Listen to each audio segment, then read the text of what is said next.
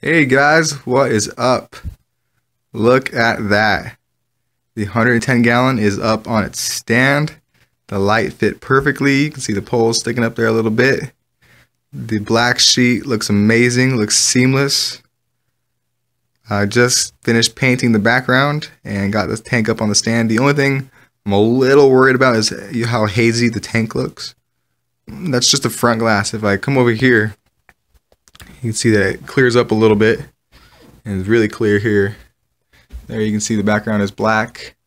But when I was water testing the tank, I noticed that with water in the tank, it doesn't look cloud, it doesn't look hazy at all. So I'm hoping that when I fill it up with water, uh, that will solve its problem, solve itself.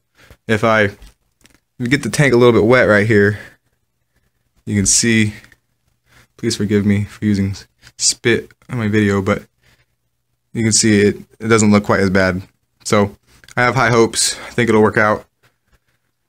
But yeah, look at that. I'm excited. Tank is up on the stand. It looks amazing. I don't know if you can tell how, how tall it is, but it looks awesome as, as tall as it is. I love it. Super excited. Also, even more exciting news uh, Marineland has decided to sponsor this build with one of their uh, Marineland C530 canister filters. So I will be receiving one of those, and as soon as I receive that, I'll do a full unboxing. And then after a couple months of using it, I'll do a full review on the uh, Marineland uh, C530 canister filter.